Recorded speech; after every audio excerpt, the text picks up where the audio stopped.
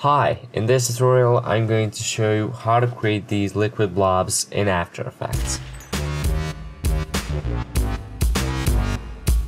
After you've opened After Effects, the first thing that you need to do is create a new composition and set the duration to 5 seconds. After you've done that, you need to create a new solid. So click on Layer, New Solid and this first solid that we're going to create is going to be the background. So let's make it um, purple.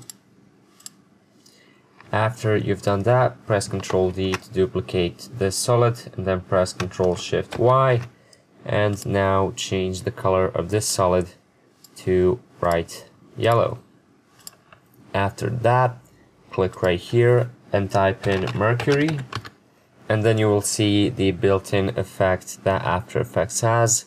It's called CC Mr. Mercury. And then apply that to the yellow solid. Now if I do a quick preview, you can see that we get this um, liquid effect. So right away I've got this kind of a 2D look.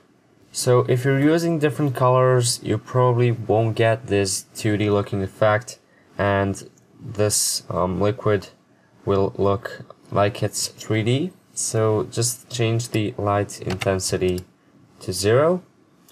And right now we can adjust the properties um, of this effect to achieve um, what we want. So first we're going to change the radius X and the radius Y to zero. Then we're going to change the velocity also to zero and as you can see right now we have got um, this liquid that's kind of dripping down. And now we're going to change the birth rate to a higher number.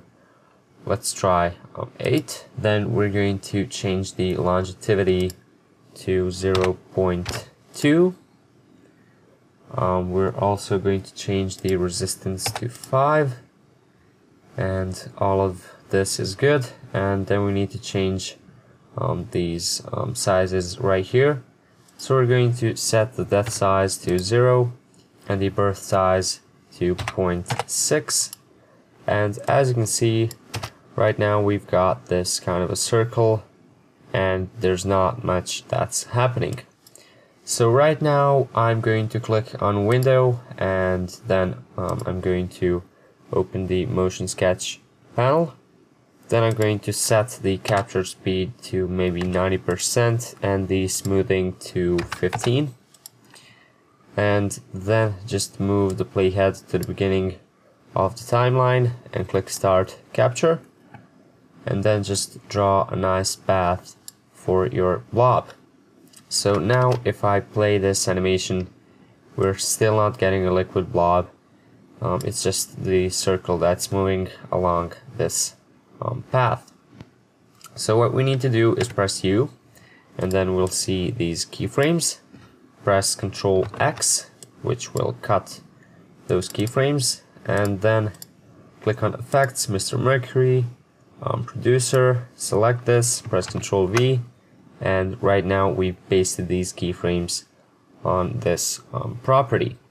Then click on the yellow solid and align it to the center and now if I do a preview, this is what we've got.